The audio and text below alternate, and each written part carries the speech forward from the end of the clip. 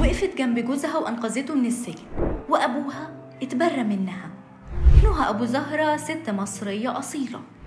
نهى أبو زهرة بنت زي أي بنت متجوزة وبتحب جوزها وعايشين حياة بسيطة وعلى قد حالهم وقاعدين في شقة إيجار بالبحيرة من كام يوم كده انتشر بوست ليها على مواقع التواصل وهي بتعرض ممتلكات شقتها وهدومها للبيع. ووضحت السبب إن جوزها عليه وصلات أمانة ومعهوش فلوس يسدد وأصحاب الفلوس مش هيستنوا عليه وممكن يدخل السجن.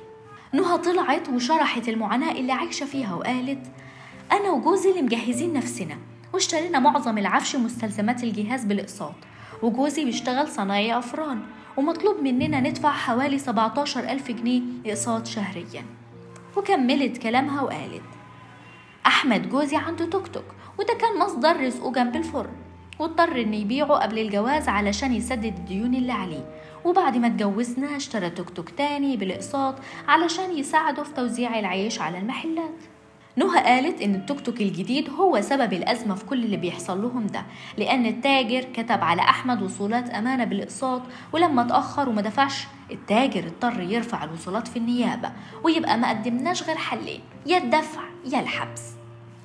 نهى ما عندهاش مصدر رزق تقدر تساعد فيه جوزها في أزمته فاضطرت تبيع عفش بيتها وهدومها وكمان الجزم اللي كانت بتلبسها وطلعت كتبت وقالت بعت النيش ومحتوياته والتلفزيون وهدومي اللي كان بعضها جديد وملحقتش حتى إني ألبسه والأحذية والبطاطين ورفايع المطبخ وحاجات تانية كتير ومستعدة أستغنى عن أي حاجة في حياتي مقابل بس إنه أحمد ما يدخلش السجن.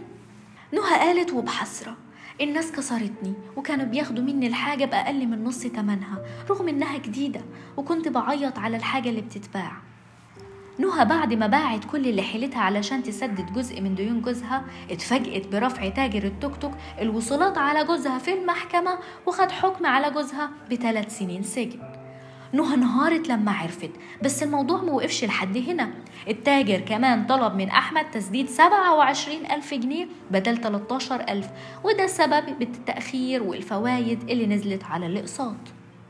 نهى ما بقتش عارفة تعمل إيه ولا تتصرف إزاي ولسه يا دوب بتتمالك أعصابها علشان تعرف تفكر. اتفاجئت بتاجر الأنتريه اللي كانوا شاريين منه رفع عليه وصل بأربع تلاف جنيه. نهى فضلت واقفة جنب جوزها وجمعت المبلغ المطلوب وسددت كل الديون اللي عليه وطلعت وشكرت كل اللي ساعدها ووقف جنبها. لكن اللي ما كانتش متوقعاه ولا كان في بالها هو الهجوم الشديد اللي تعرضت له من والدها اللي لما عرف حكايتها بعتلها وقال لها أنا متبر منك أنت فضحتيني. نهى اعترفت إنه دي آخر حاجة ممكن تيجي في خيالها وقالت أبويا ما ساعدنيش في أي حاجة فبدل ما يساندني ويقف جنبي بيعاتبني أنا المهم عندي دلوقتي هو إن حياتي ما تخربش وجوزي ما يتأذيش.